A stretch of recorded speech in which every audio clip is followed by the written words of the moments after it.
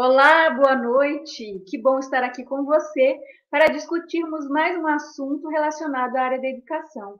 E hoje um assunto muito querido, um assunto que, que nos atrai muito, que é sobre a literatura. Nós temos um convidado muito especial que logo nós vamos apresentar.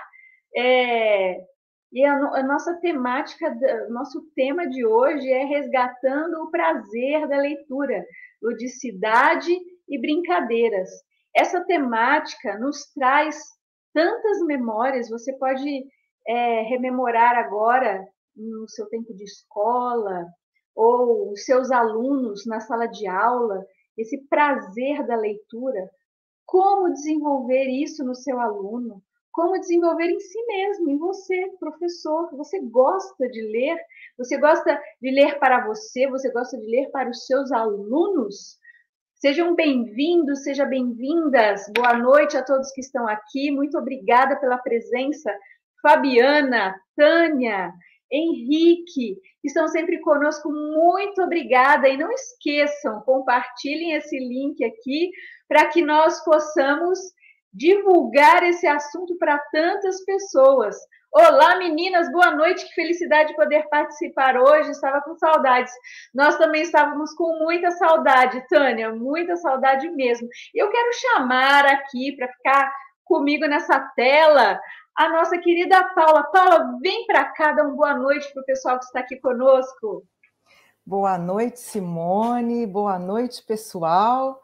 E como a Simone falou, pessoal de casa, a nossa live de hoje é muito interessante.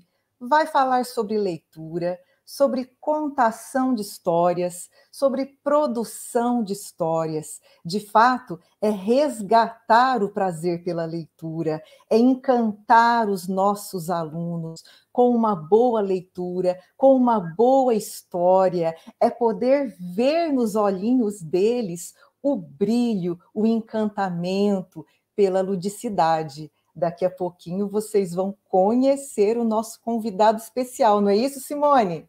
Isso mesmo, Paula.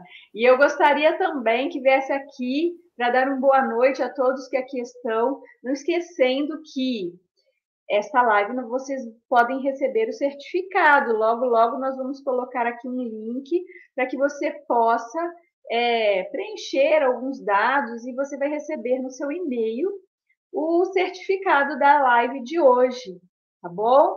E não esqueçam, compartilhem com seus contatos, dá para compartilhar esse link pelo WhatsApp, pelo Instagram, pelo Facebook. Então, chamem é, todas as pessoas que você sabe que gostam da, da educação e que gosta de literatura. Sem mais. Vou chamar a querida Elaine. Elaine, vem dar uma boa noite para o pessoal, Elaine. Lógico que sim.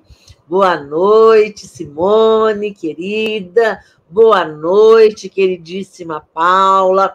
Boa noite, uma boa noite muito especial para o nosso público aqui conosco em mais uma quinta-feira. Hoje, ao final desta live tão interessante, vou anunciar algumas novidades, novidades para 2023 e pensando já em 2023 e 2024.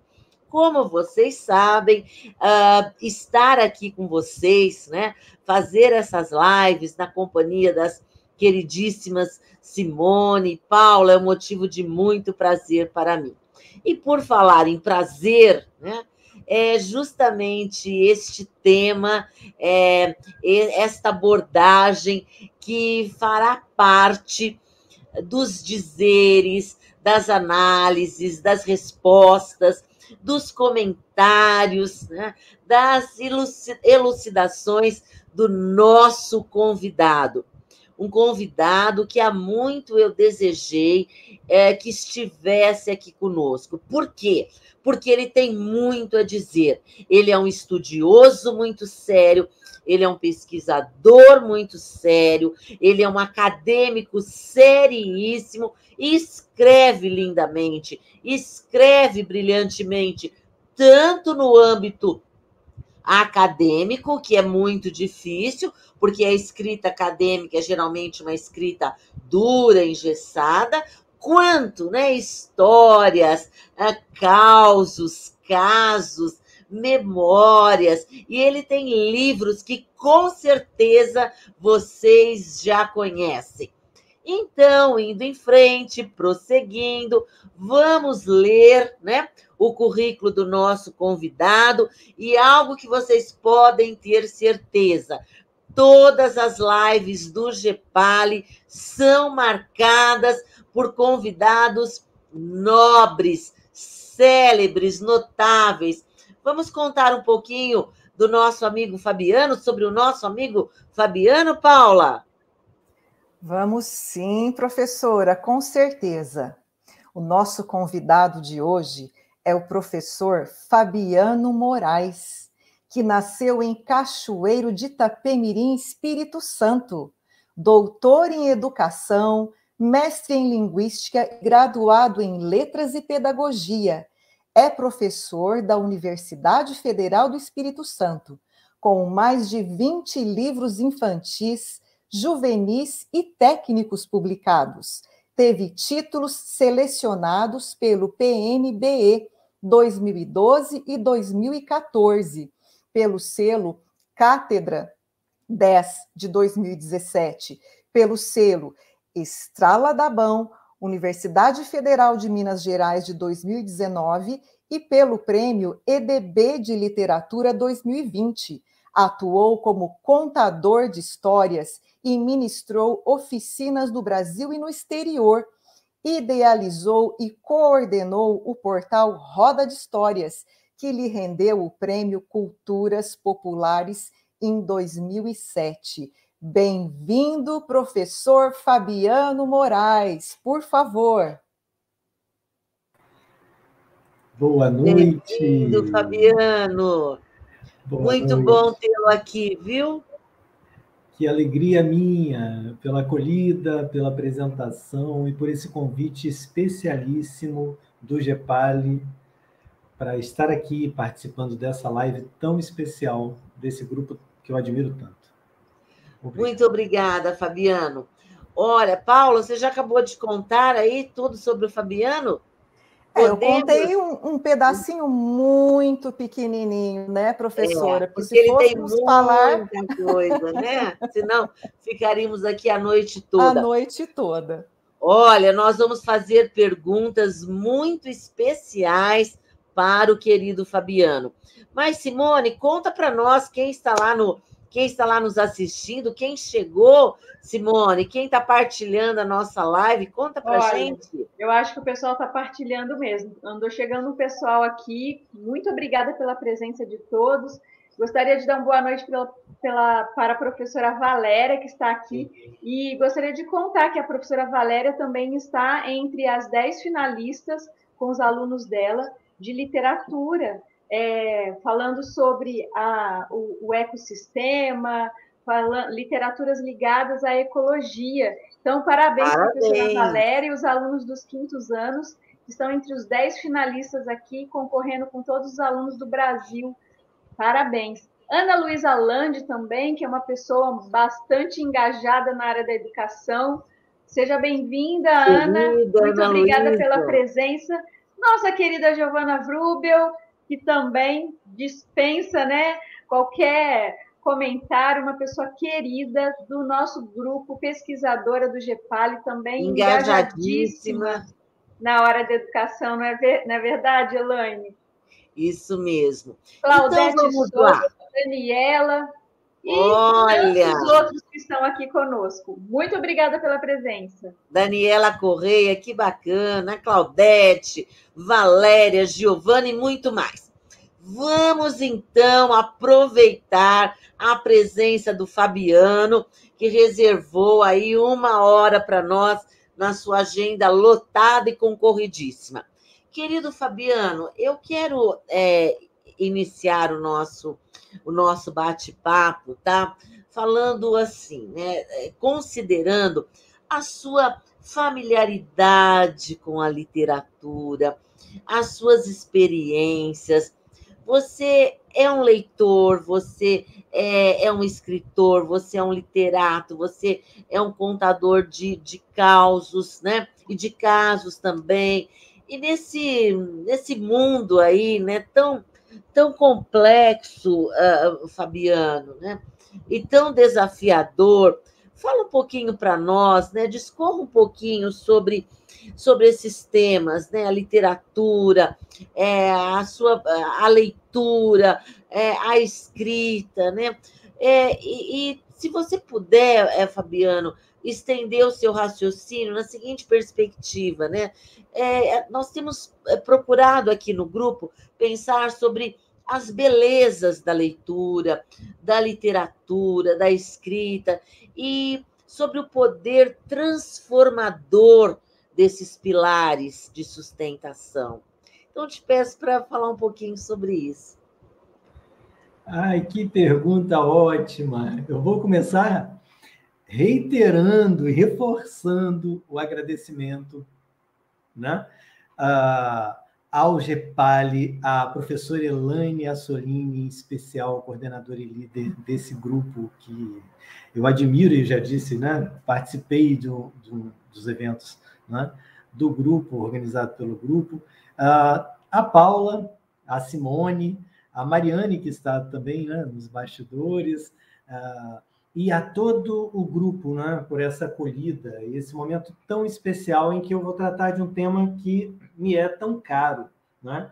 resgatando o prazer da leitura, ludicidade e brincadeira. E brincadeiras, né? Então, é, de certa forma, né, como eu, eu gosto de tratar desse tema há um bom tempo, inclusive como contador de histórias, e que eu sempre digo, né? É, que brinca com as palavras e, ao mesmo tempo, escritor de literatura que brinca com as palavras, né? a minha ideia é justamente tratar desse tema, que é a ludicidade, né? e que já é, vamos dizer assim, é, essa, essa palavra, eu poderia dizer, ela já é, sintetiza, de certa forma, a resposta, não é? Então esse, essa beleza e esse poder transformador ele passa, a meu ver, justamente pelo aspecto lúdico e pelo aspecto onírico, os dois como ah, ah, familiares, como muito próximos, né?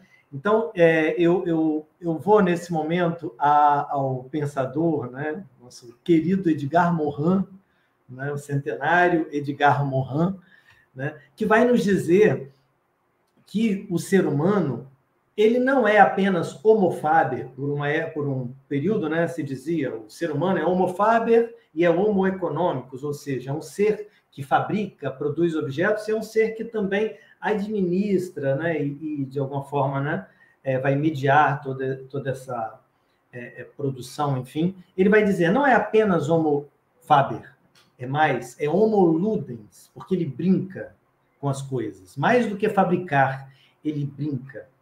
E ele uh, não é apenas homo econômicos, ele é mais, ele é homo mitológicos, certo?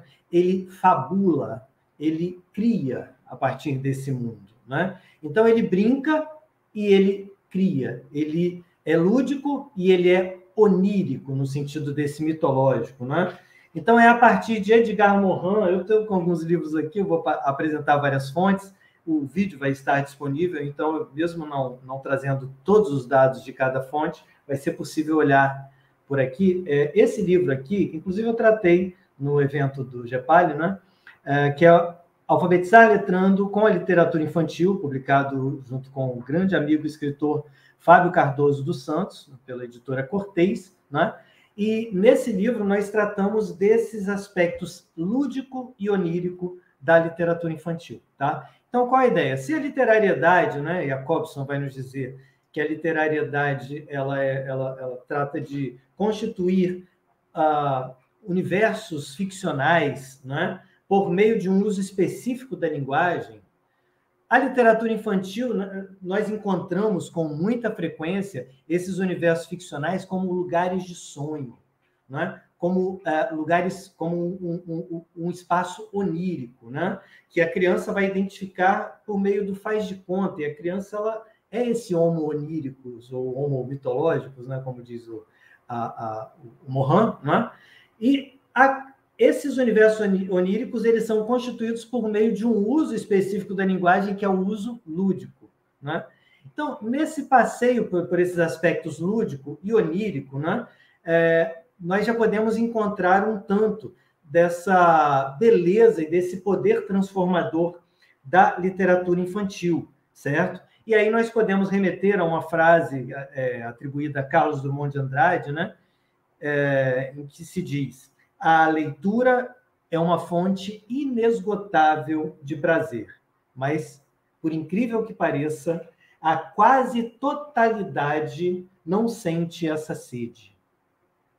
A leitura é uma fonte inesgotável de prazer, mas, por incrível que pareça, a quase totalidade não sente essa sede por essa fonte de prazer, ou essa sede por essa modalidade de prazer que é justamente a literatura e a leitura da literatura, né, nas suas diversas formas. Bom, o prazer, então, nesse sentido, o prazer de ler, né, foi Geraldo quem nos disse, no uso do, do uso, é, é, aliás, o, te, o, texto na sala de aula, né, em que ele nos disse que o prazer ele foi é, é, extirpado, ele está ausente das escolas. Então, é preciso resgatar esse prazer e o prazer de ler para as escolas, e nas escolas, né? e com as escolas, eu, eu acrescentaria. Né? Então, essa, é, o que nos levou a isso? Bom, a leitura, em certa medida, historicamente, lamentavelmente, né, isso por meio de uma certa tradição punitiva, ela começou a ser vista como um castigo. Ah, você não fez, tal, vá para a biblioteca. A biblioteca, inclusive, é um desses espaços, infelizmente, o espaço do livro. Vai, vai ler vai escrever. A escrita e a leitura como punição. E como é que você vê o prazer em algo que é utilizado tradicionalmente como uh, um lugar dessa, desse castigo, não é? Então, é, é, eu o, o, também tenho um livro, um outro livro que é dessa coleção, só que eu não estou com ele aqui, essa coleção que é a Biblioteca Escolar de Alfabetização e Leitura da editora Cortez, tem um terceiro, tem o da tradição oral, vou falar daqui a pouquinho, e tem o terceiro, que é alfabetizar letrando na biblioteca escolar. Não estou com ele aqui. Mas nele, é, eu, a, a, o Eduardo Valadares, que é professor da UFMG, né, bibliotecário, e a Marcela Amorim, tá? a Marcela Mendonça Amorim, que é bibliotecária também, nós escrevemos esse livro e lá nós tratamos dessa questão. Biblioteca é um lugar de silêncio? a Marcela que brinca e conta histórias e canta na biblioteca vai nos mostrar algo um tanto distinto, né? E ao mesmo tempo a biblioteca é o lugar de, de, né, de enfim, deixar o aluno de castigo no horário do, do intervalo. Não, se ele quer ir, que ele vá, que ele aproveite aquele espaço quando bem entender e for possível.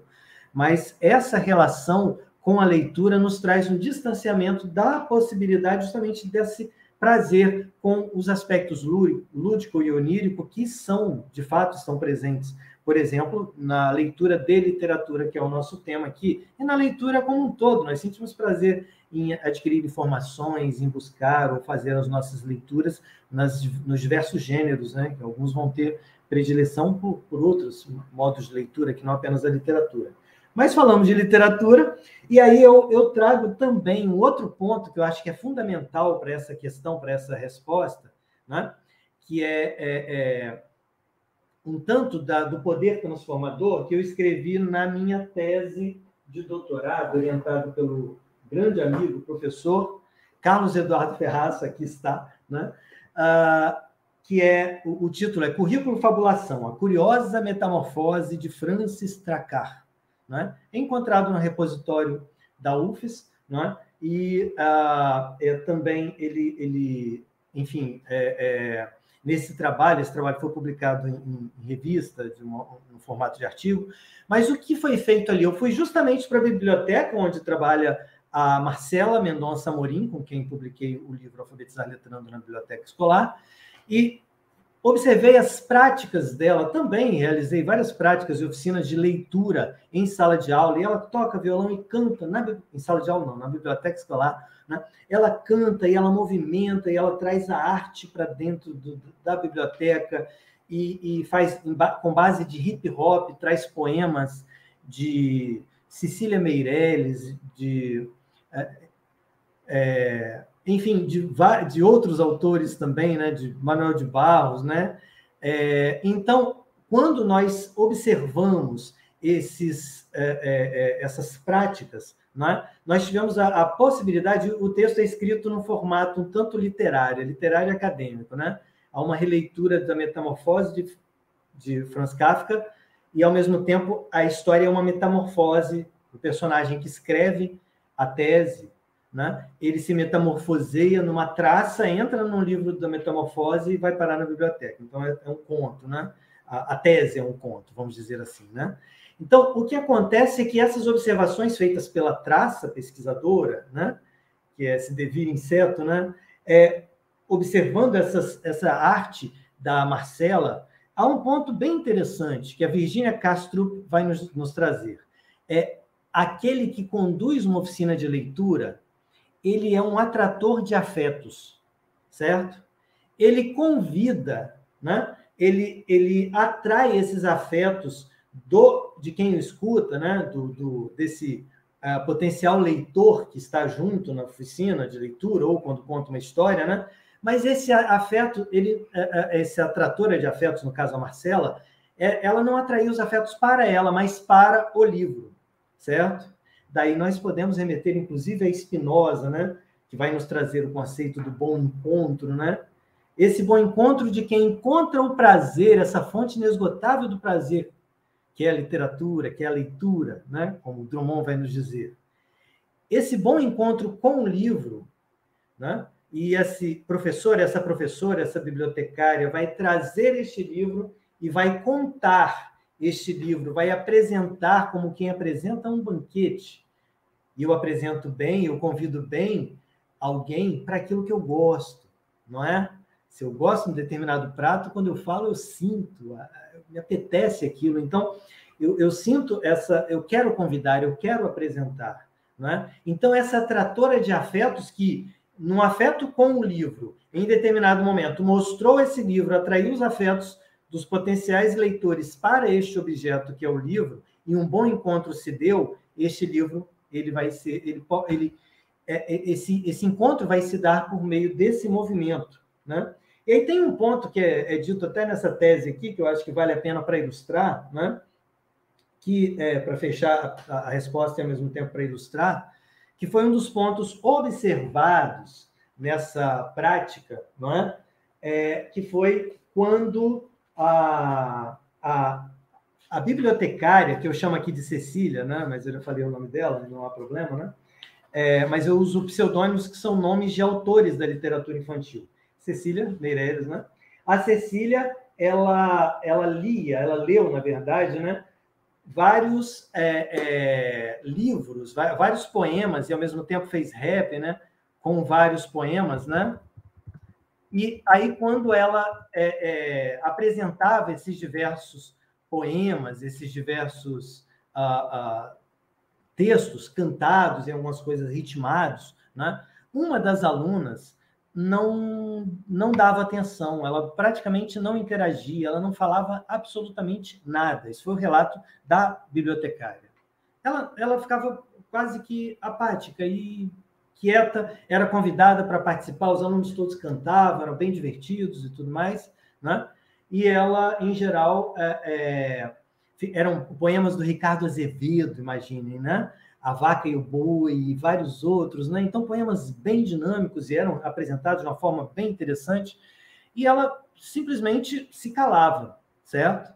E o que aconteceu foi que é, ela, desde o segundo ano, na época era a primeira série, até o quinto ano, na época era a quarta série, ela estudou, ia nessas dinâmicas, quando num determinado momento chegou um aluno novo, né? eu chamo essa menina de Lia, na, na tese, né, de Lia Zatz. E chamo esse menino novo de Pedro, Pedro Bandeira, vamos dizer assim, em homenagem a esses escritores. Né? E aí chega o Pedro, e o Pedro ele já sabia todas aquelas canções, todos aqueles poemas, todas aquelas canções, no primeiro, no, no primeiro ano, né? É, no primeiro ano. E ela pensou: esse menino já sabe ler. E quando ela entregou um negócio para ele, não sabia ler. Aí a bibliotecária perguntou: como é que você sabe? Ele disse: a minha irmã canta para mim. Mas quem é a sua irmã? Ele disse: Lia. Né? E a Lia, é, ela, ela se tornava uma atratora de afetos, ela levava, pegava o livro na biblioteca, calada, era um modo de participação da Lia. Nós procuramos engessar um modo de participação único, como aquele aluno que tem uma determinada atitude, mas ela, na atitude dela, aparentemente não participativa, ela levava para casa e levava para o Pedro aquelas canções e cantava com ele e letra, é, participa, fazia processo de letramento e ao mesmo tempo de atratora de afetos. Então acho que é esse o ponto, né? E assim vem o convite. Vamos brincar de poesia? Vamos brincar de leitura? Como José Paulo Paes nos convida no poema Convite, e assim seguimos a nossa conversa. Não sei se eu respondi, mas essa era a ideia. Obrigado. O som, professora. Microfone, Eita. Elaine. Eita! É isso que o Fabiano nos traz, né? O movimento, é, o lúdico, né? a beleza, e é assim, é encantador e é formativo também quando ele nos diz que, nos ensina, muito bem ensinado que, né, nós, professores, por meio da leitura, podemos atrair afetos positivos, construir afetos positivos, né? É celebrar laços, estabelecer laços, chegar ao coração daquela criança, mesmo daquela criança mais mais tímida, é mais uh, fechada, assim, por algum por algum motivo, né? E então há muito a ser feito a partir da leitura, é a partir da literatura. Ainda mais, né, quando se tem alguém tão especial como a bibliotecária, por você citada, que leva música, é, que leva dança, né, que leva movimento para a sala de aula, né? Isso, isso nos abraça, né? E abraça a criança também, porque a criança é movimento, né? A criança é, ela, ela, ela é, é ela é toda, né, é, marcada por esse, por esse lúdico, por esse é, é, pela não, pelo não estável, né? Pelo não é cartesiano. E a literatura rompe com tudo isso, né? Mas vamos em frente, muito obrigada pela aula. Só na primeira resposta, nós já tivemos uma aula. Vocês já perceberam, querido público? Karina Venerando, você apareceu, hein? Estava com saudades. Vamos lá, quem vai perguntar para o Fabiano agora? É a Paulo, é a Simone. Como que nós vamos agora? Sou eu que vou fazer uma pergunta para você, Fabiano. Tudo bem? Ótimo, por favor. Eu acho que o nosso público está adorando essa aula enriquecedora. E olha só a responsabilidade de nós professores, né? Atratores de afeto. E, e como é isso mesmo, que quando nós lemos para os nossos alunos, né, como uma boa dicção, quando nós usamos uma boa entonação, nós captamos a atenção deles. Eles ficam interessados, não é? E isso faz com que cada vez mais nós consigamos resgatar esse prazer pela leitura. E aí, Fabiano, como a gente havia conversado, o nosso público é um público de professores, em sua grande maioria. E eles, com certeza, devem estar se perguntando se você teria aí na sua cartola mágica, de repente, alguma prática pedagógica, algum projeto literário, alguma oficina de leitura, ou não sei, Fabiano, que ideias você teria, né, para os professores utilizarem em suas aulas que você poderia compartilhar conosco, ou mesmo depois mostrar um pouco de todo o material que você tem também, por favor. Nossa, Olhem, é, é fantástico, assim, a, a, a, a, a, as possibilidades são inúmeras, né? Então, assim, a vontade que dá... É, eu tenho uma pilha de livros aqui do lado, e mais um baú aqui, mais uma estante um pouquinho mais para o lado de lá, né? Uh, só de livros uh, de literatura infantil, né? E fora que eu tenho na estante lá fora, mas esse eu não vou mexer não, porque eu trouxe para cá principalmente os que eu é, é, que eu considero que dialogam. Eu atuei por, por muitos anos, né? Como professor de é, da educação infantil e do ensino fundamental 1, né? professor de musicalização e de literatura infantil. Quero dizer, não de literatura infantil, não sei, mas como alguém que, que trazia essas leituras e a, a literatura infantil, as dinâmicas, uma série de oficinas e possibilidades, mais de 10 anos, né? Ah, na verdade, acho que 11 a 14, eu já não lembro mais, mas foi por um bom tempo.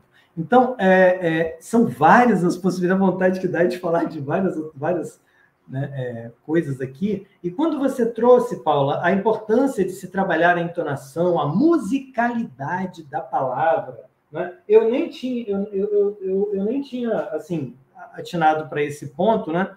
Mas teve um livro que eu publiquei neste ano, que é Contar Histórias com Maestria, pela editora Voz, que é, na segunda parte eu trato justamente da musicalidade da palavra, inclusive escrita, né?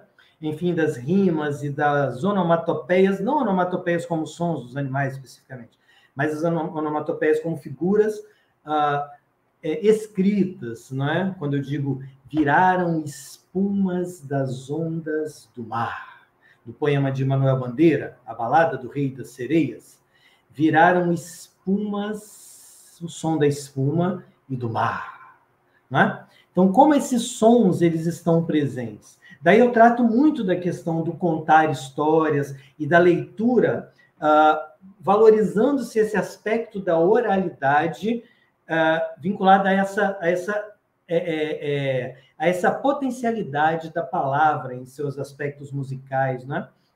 E é claro, vamos continuar falando do lúdico e onírico que passam por esse, por esse tudo isso que nós estamos falando. Né? Tem alguns livros aqui uh, que, eu, por exemplo, naquele mesmo livro que eu tinha citado, que é o Alfabetizar Letrando com a Literatura Infantil, no capítulo 2, uh, ah, trabalhamos com uh, propostas práticas de escritos lúdicos e oníricos. E nesse momento, nesse trecho do livro, algumas propostas são feitas, por exemplo, a partir desses livros aqui, ó. Era uma vez uma bruxa de Lia Zatz. Lia, inclusive, que é o pseudônimo daquela aluna que eu falei, né? Esse nome que é dado para. Porque ela lia, inclusive, essa aluna né, da, da tese. Ela lia, né? Então, a de Elias Artes, ilustrado pelo Rogério Botti, pela editora moderna. E aqui, observem que interessante, isso é semelhante a uma carta enigmática. Era uma vez uma. Aqui a bruxa, não é escrito bruxa, chamada Hildegarda Rosa Espinhenta das Cruzes Tortas Cholesenta da Silva. Esse é o nome completo dela. Então, o lúdico está presente aqui desde a, a escrita, que é um tanto divertida, né? não é? Ela brinca com os termos e com as palavras e, ao mesmo tempo, brinca com as ilustrações aqui presentes, certo? É uma carta enigmática com imagens, não com aquele mais e menos que tira pedaços da palavra, como nós vimos nos passatempos da nossa infância, enfim. Mas aqui é bem interessante porque é, é, é, é, eu, eu, sempre trabalhei com uma leitura interativa em que a parte desenhada os alunos liam, mesmo sem ler, não é? Eles inferiam pela própria imagem, eles liam imageticamente, com, com, conduziam a leitura e, por fim, nós fazíamos uh, uma, uma... criávamos, quando eram alunos que já escreviam, né? é, ou isso em, no coletivo também era possível fazer com alunos que estavam desenvolvendo a escrita, que era a construção de textos com imagens recortadas de revistas. É uma das propostas do livro Alfabetizar Letrando com a Literatura Infantil. Né? Um outro livro que trabalha de uma maneira bem interessante com o lúdico, e aí vai trabalhar com a produção de sentido, que é Ponto e Linha, da Mila Berente, é, ilustrado pela Graça Lima, né? é, da editora Cortez. E nesse ponto e linha, é bem interessante porque ela vai trabalhar com a produção de sentido com dois termos polissêmicos que têm uma possibilidade de produção de sentidos que é enorme, né? Quando nós pegamos a potencialidade da palavra ponto, desde ponto de ônibus, ponto final, né? Um apontamento, né? É, pontuando, são várias possibilidades a partir desse termo e é justamente o que é trazido aqui, não é? é, o ponto de chegada e o ponto de partida não são pontos diferentes, são apenas pontos missionários que trabalham noite e dia sem horário, sem salário. E o termo, a palavra linha também, né? Passa, passa, gavião, quero ver passar. Passa, passa, avião, quero viajar. Uma passagem, por favor, ponto a ponto, com desconto para a terra do nunca. PS pode ser em qualquer linha.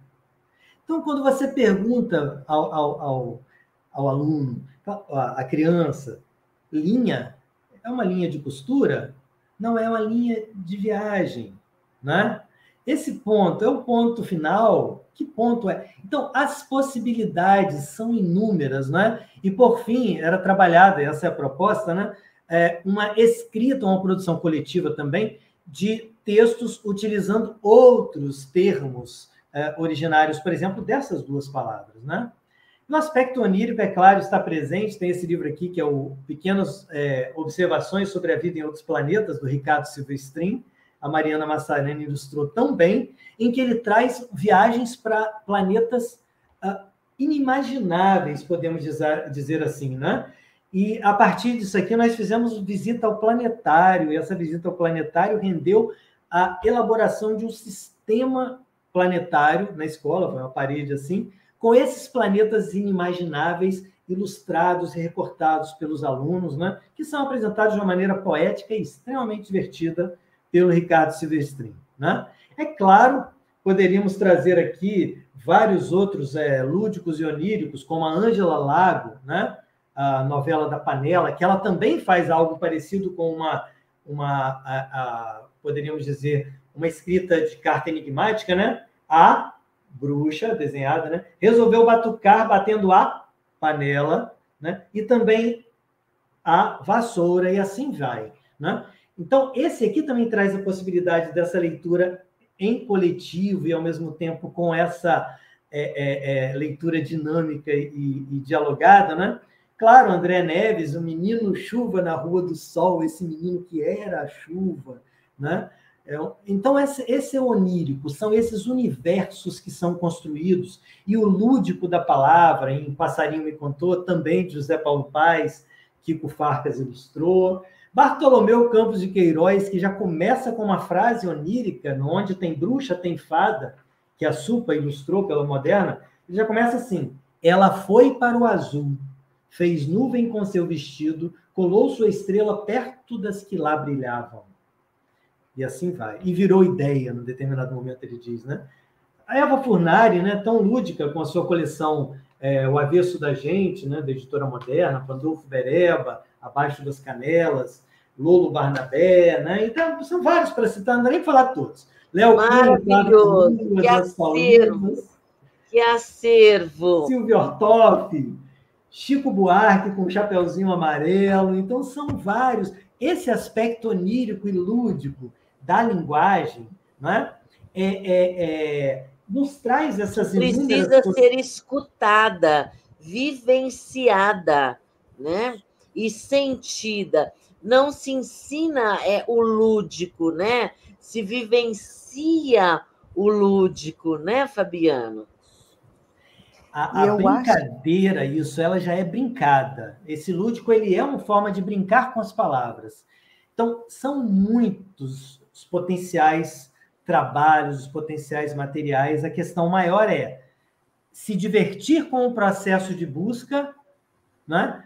Uh, entrar nesse mundo de faz de conta, que é o mundo onírico da literatura infantil, brincar e entrar nesse faz de conta no processo de compartilhar esses textos, no processo de trazer à tona né? esse, esse, esse trabalho, esse material. E com isso, uma coisa impressionante que acontece é que há um convite e a, a criança que já, até mesmo adolescente ou adulto mergulha nesse universo onírico. Aí teria até algum, alguma experiência sobrar um tempinho para eu contar casos em que adolescentes e adultos, como eles mergulham nesse universo onírico por meio dessa fabulação e dessa, né, dessa faz de conta desse aspecto da literatura. Né? Que legal, que Fabiano. E nós vamos mostrar mais um pouquinho dos seus livros para o pessoal de casa dar uma olhada na sua produção. Olha só. Chapeuzinho Vermelho na Escola, Mil Anos de História, Amores Indígenas. O que é memória? Que legal! Alfabetizar letrando com a literatura infantil, que eu adoro. É, contar histórias com maestria, vou usar no curso de pedagogia.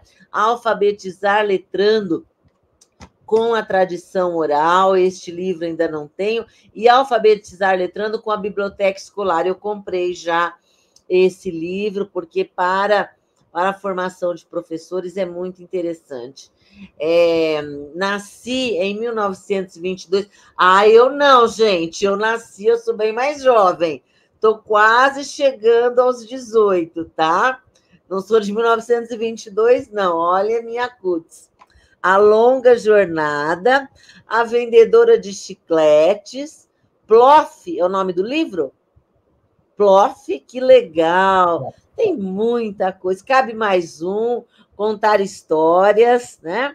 A arte de brincar com as palavras, caleidoscópio do contador de histórias, mas é muito material. A arte de encantar. O Fabiano é muito modesto, hein, gente? Nossa, Amores em África, O Homem que Escrevia ao Contrário. Ah, esse livro deve ser legal. Esse livro deve ser bárbaro, Fabiano. Eu quero ler todos, todos. Parabéns, parabéns. Vamos em frente, Simone. O que, você vai perguntar aí para o nosso escritor que está dando um show nessa noite maravilhosa? Tem muita pergunta aqui. Inclusive, tem uma pergunta da nossa querida Tânia, ela colocou uma pergunta, depois a gente vai revisitar a pergunta dela. E, bom, tem muita coisa bacana que o Fabiano está contando só um pedacinho aqui. É, é um prazer poder ouvi-lo aqui. É muita, a nossa cabeça vai vai a mil, né? Pensando em como contar as histórias para as crianças.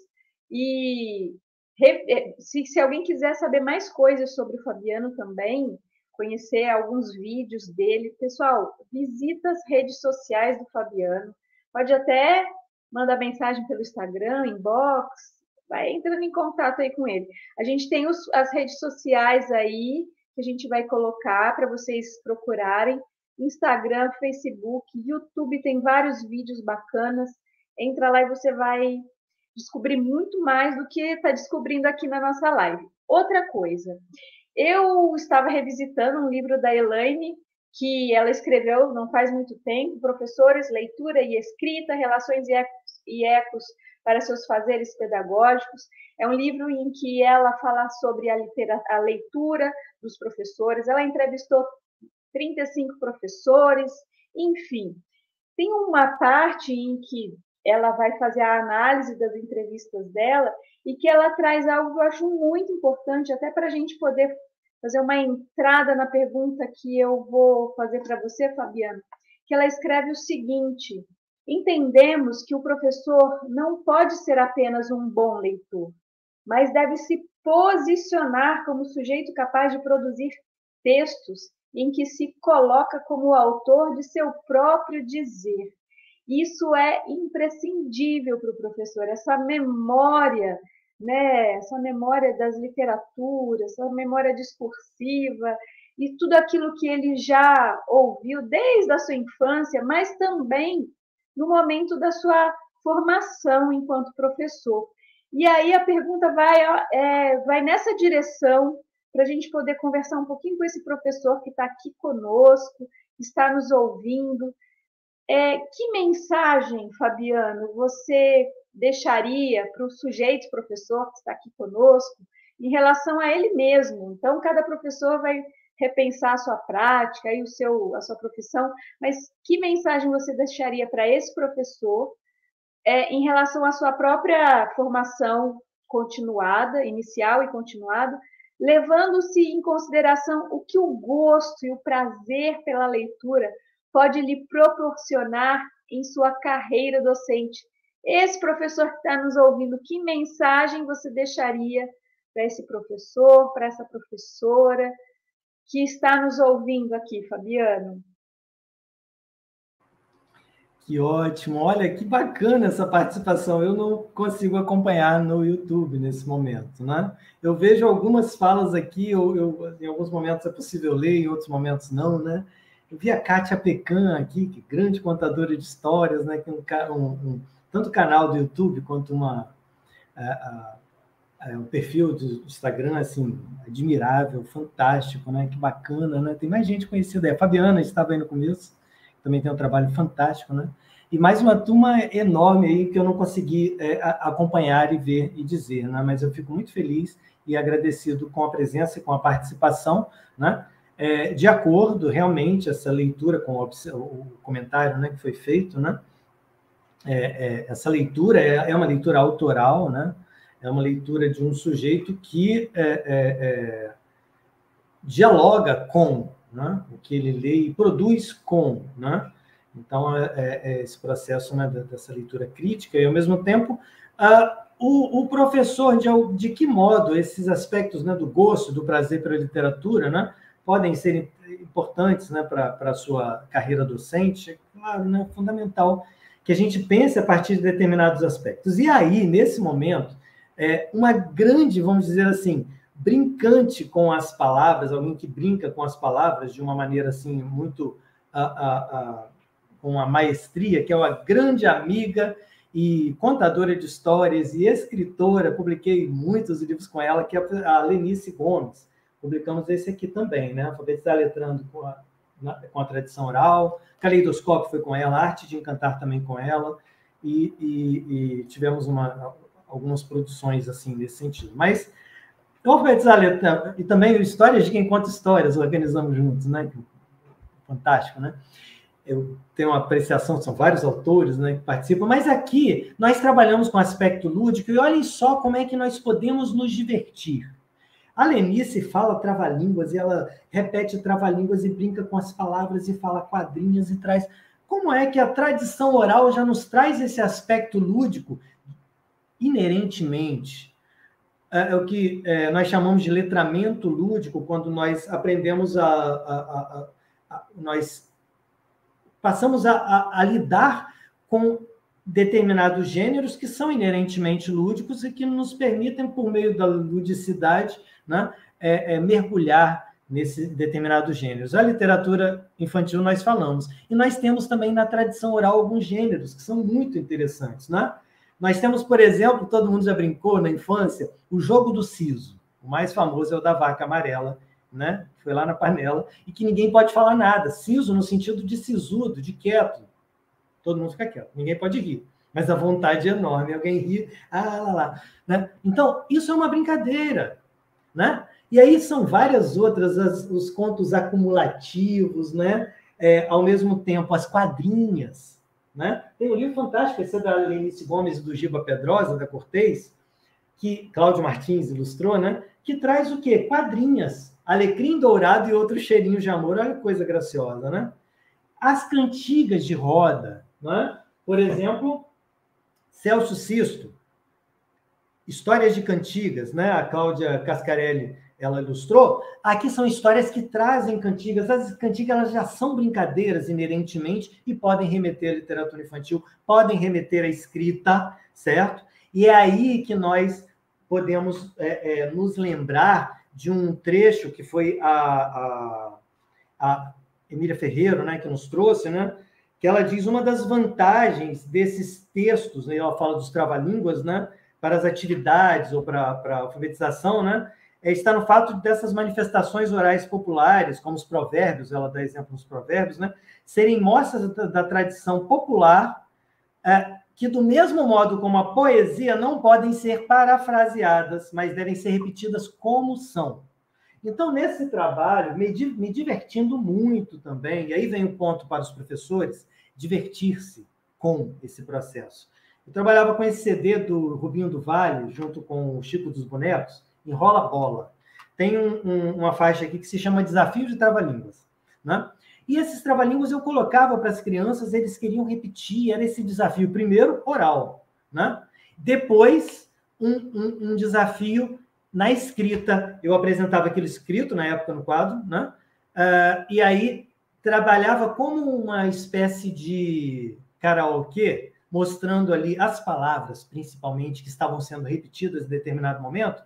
Alguns tinham curiosidade para entender aquilo que eles já sabiam. E eles já tinham uma ideia do que estava escrito ali, porque eles já tinham memorizado os trava-línguas. Né? Então, vinha, vinha alguns processos também né, de consciência fonológica. Eu falo mais desse CD nesse outro livro meu, que é o Uso de Texto da Alfabetização, da editora Vozes. Né? Mas eu falo um pouco mais de um trabalho específico com esse CD.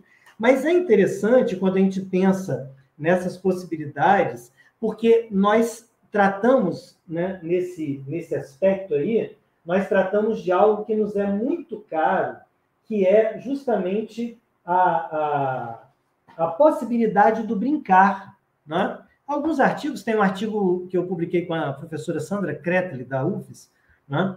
que é sobre o Manuel Bandeira, de se a Mariane puder colocar depois um link aí para vocês poderem conhecer, acadêmico assim, né? Mas tem outro aqui, tem outros também, por exemplo, nessa revista Direcional Educador, que circulou por muito tempo nas escolas de São Paulo, né? Em que eu trato aqui, por exemplo, do brincar, certo? Num artigo chamado Brincar, Contar Histórias e Ler em Voz Alta, certo?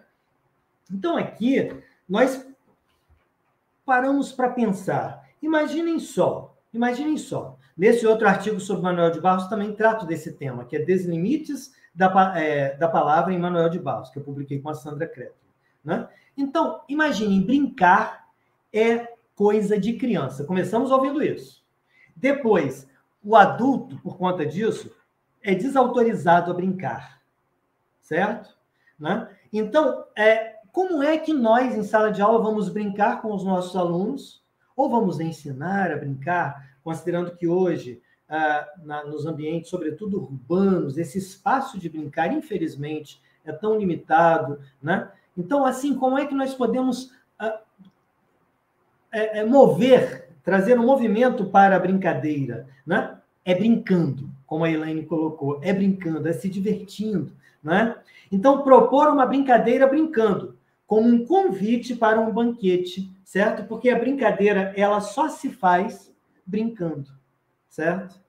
Daí, é, é importante lembrar, o nosso aluno não foi adulto, mas nós fomos crianças, certo?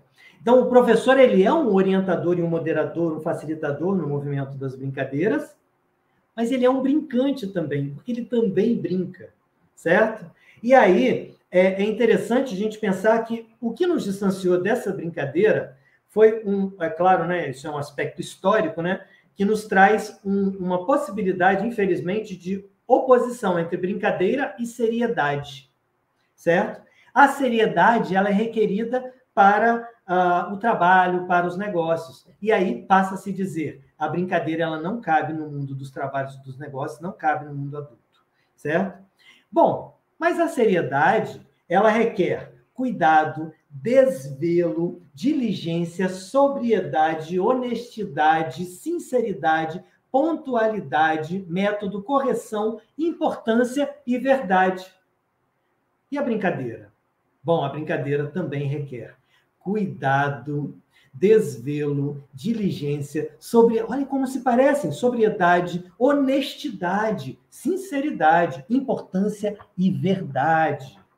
O problema é que esses aspectos foram extirpados do que nós sabemos que é a brincadeira, porque a criança é verdadeira na brincadeira dela, certo? Ela dá importância, ela é honesta na brincadeira dela, certo? Então, o que fizeram foi justamente trazer a ideia de que ser ser sério é ser sisudo, é ser carrancudo, e ao mesmo tempo brincar, a brincadeira ela passou a denotar mentira, ah, brincadeirinha, ah, isso é brincadeira. Né? Passou a denotar zombaria ou algo sem importância. E esse é o risco.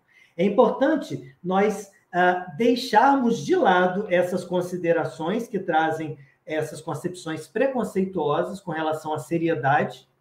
É possível ser sério de uma maneira não sisuda e não carrancuda. E é possível brincar com a verdade, porque a brincadeira ela requer isso, né? Para que possamos defender a brincadeira como metodologia de trabalho no âmbito da educação e como estratégia para o letramento. Isso é o que é possível defender, certo?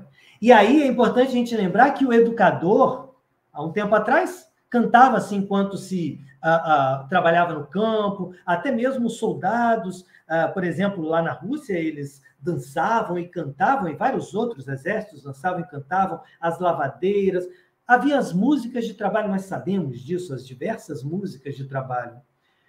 Com o tempo, o trabalho passou a, ser, a, extirpar essas possibilidades de manifestação lúdica, cantar, contar histórias, né? rir, até rir. Né? E o professor continua sendo um dos únicos profissionais remanescentes né, ainda autorizado a brincar, a contar histórias e a cantar enquanto trabalha e como instrumento de trabalho. Daí é Foucault que vai, quem vai nos dizer a familiaridade entre a palavra é, recriação e recreação. Em francês, só o que diferencia recreation é a, um, um hífen. Né? Aqui, a semelhança também é muito grande. Então, recriar é recrear também. Né? Então, essa criatividade, todos esses aspectos, certo? E aí, para fechar essa pergunta, que eu acho que é essencial, é que a gente pense: contar histórias e ler em voz alta faz bem para quem escuta e faz bem para quem conta. Nesse livrinho aqui, que foi um dos meus mais recentes, Contar Histórias com Maestria, eu trabalho num determinado capítulo aqui, eu trabalho com a, a entrar e sair dos sentimentos, entrar e sair das personagens.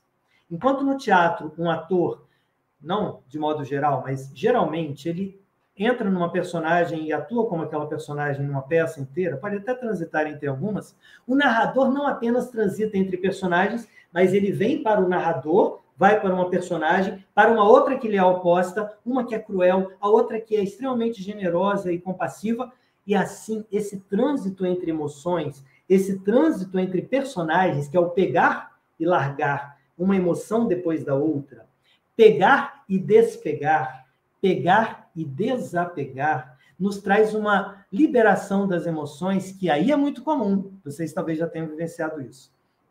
Eu conto uma história, eu leio um livro e quando eu acabo de ler esse livro para as crianças, quando eu saio da aula, eu me dou conta de que eu estava passando por um problema sério, eu estava muito preocupado, estava talvez né, num processo, sabe, emotivo assim até muito né, complicado e eu me dou conta, o que aconteceu com aquilo? Eu simplesmente consegui finalmente largar. E posso até ficar mais um tempo e refletir sobre a necessidade de continuar alimentando determinadas coisas. Uma coisa é resolver um problema, outra coisa é se agarrar numa determinada emoção que pode até me atrapalhar nisso. Então isso tudo, isso tudo é parte, eu diria, desse processo de, de, da, do prazer do gosto do prazer para a leitura para a carreira docente e mais para a vida e mais, para o mundo. Porque constituindo momentos de contar histórias, e este é o meu último, eu tenho esse aqui também sobre contar histórias, que eu não falei, mas que é outro. Mas esse aqui, que é o último, que é Chapeuzinho Vermelho na Escola, em que eu trago uma história, a Indiazinha Chapeuzinho Verde, que é da indígena é, Maria Lúcia Tacua Pérez, é um e-book, tá? Vocês conseguem, por meio do e-mail dela, é uma aquisição né, de um e-book, né, que é uma contribuição para a aldeia, que o e-mail é chapeuzinho verde guarani arroba gmail.com chapeuzinho verde guarani arroba gmail.com é, trabalho esse conto e aí trago Ailton Krenak. Por meio das histórias, nos é possível adiar o fim do mundo. Certo? Porque o que é que nos fazem? Essa narrativa dominante, o tempo todo, ela pregou o fim do mundo. E ela acaba é, todos os dias nos incentivando a desistir dos nossos sonhos, a desistir de sonhar. Adiar o fim do mundo é justamente habitar esse lugar do sonho. certo? Que é um lugar conectado com o nosso mundo, ele não é apartado do nosso mundo, diz Ailton Krenak. Né? Em Ideias para Adiar o Fim do Mundo, ele nos diz isso. Ele diz, é um lugar com uma potência diferente. Então, esses momentos de leitura, esses momentos de histórias, né? de narração de histórias, de brincadeiras, né? eles lançam, o que Ailton Krenak nos diz, paraquedas coloridos que nos permitem uma queda mais lenta em direção a esse apregoado fim do mundo e, ao mesmo tempo, nos permitem habitar esse lugar do sonho. E é justamente isso que eu acho que é essencial, como eu digo, para a carreira docente, para a vida e para o nosso mundo, que carece tanto, tanto de um lugar do sonho, carece tanto de mais ludicidade, de mais sonho onírico, né? brincadeira né? e vida. É isso. É verdade, Fabiano. Nosso mundo, nossa nossa vida, né? O, o, mundo atual, o planeta está carecendo de sonhos, é, de fantasias, des, desses momentos é, transformadores que a literatura nos possibilita, né? Momentos transformadores por meio da literatura, por meio da música. Eu estava me mexendo bastante aqui, porque eu estava anotando muitas coisas aqui. Eu ainda sou aqui um pouquinho a moda antiga, e eu anotei três coisas lindas que você falou, maravilhosas, e eu fiquei assim é, muito emocionada, porque é, há muito tempo eu falo para os meus alunos do curso de pedagogia que a docência e o magistério é uma profissão, é, é uma das únicas profissões, não sei se você concorda comigo, que nos permite envelhecer. Né? Porque muitas, muitas outras opções, é, profissões, você não pode é, envelhecer né? Ou ainda no caso das mulheres, quando elas chegam aos 45 anos, é como se o mundo tivesse que parar ali aos 40, 45 anos e a vida vai sempre para frente. Então, nós, professores, podemos envelhecer na nossa profissão sem deixar de sermos amados ou respeitados. E você trouxe algo maravilhoso que eu vou levar para o resto da minha vida. O professor pode cantar, né? O professor, como você, não vou falar da maneira linda como você disse, né? O professor pode, é aquele profissional que pode se divertir, né? Ele pode fazer do processo, do processo, desses processos, né? E partilhá-los como é, recursos, instrumentos é, didáticos, pedagógicos, educacionais. Né? A, nós podemos usar a música, a, a poesia, o brincar com as palavras, e tudo isso, além de tudo, como você disse, brilhantemente, faz bem para a nossa alma, né? tão sofrida, né? O homem da contemporaneidade é um homem muito sofrido, porque são cobranças que nos chegam né, a todos os momentos.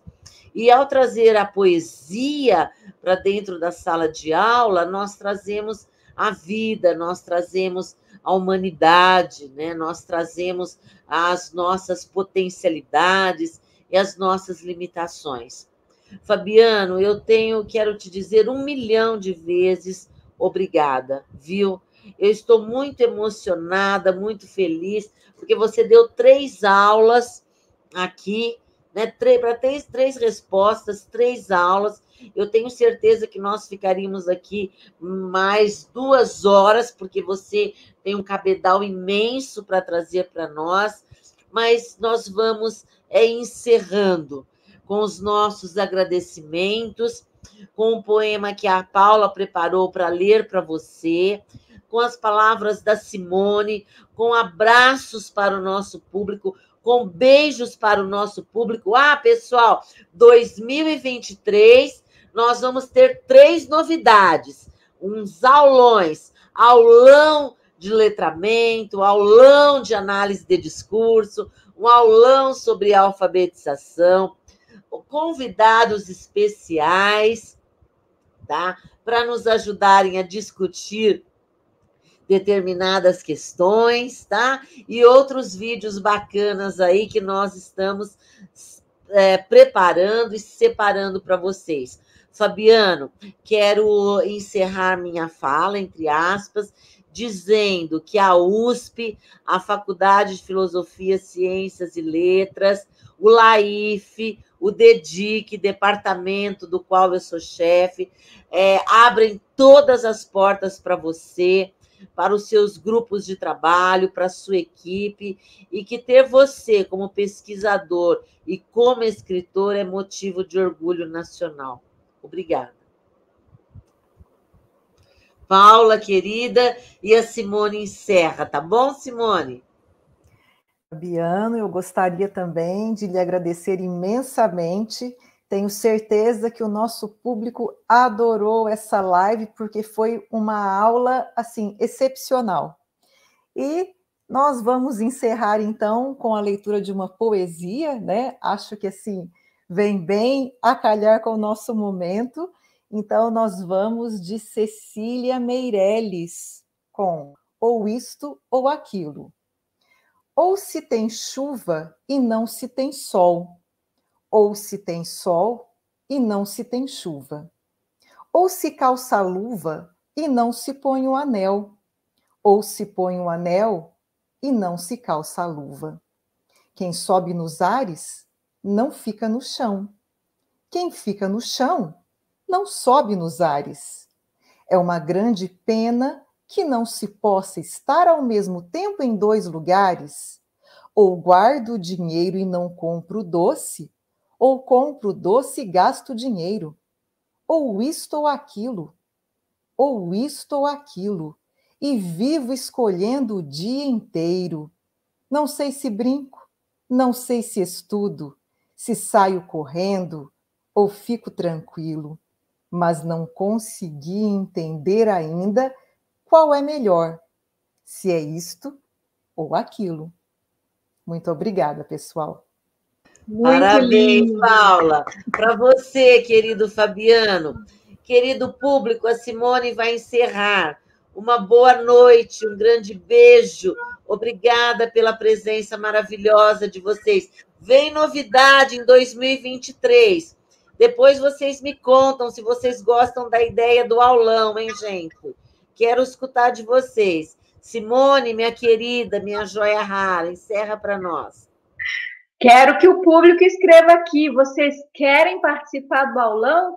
Sim ou não? Ou você assiste essa live, ou você fica sem saber o que, quanta coisa boa, ou isto ou aquilo. Então, até a próxima. Fique ligado nas nossas redes sociais. Vamos lá, tchau, tchau.